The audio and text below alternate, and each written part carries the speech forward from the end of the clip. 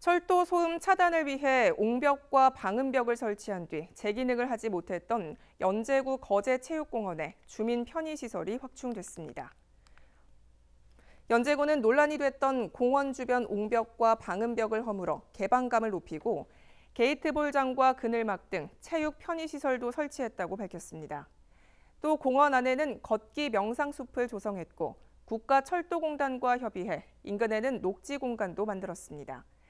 특히 교대역 쪽에는 벽천을 설치해 보행 신호를 기다리는 주민들이 무더위를 피할 수 있게 했습니다.